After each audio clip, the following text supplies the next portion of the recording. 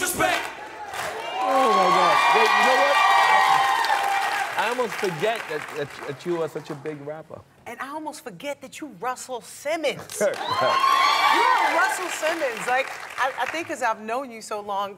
Oh my God. Every once in a while, it does hit me. I, I can't even. You are a godmother, my child. I love your children. Right, right. I love your children. Does everybody know that? I don't know if you ever said that. No, I've never said that.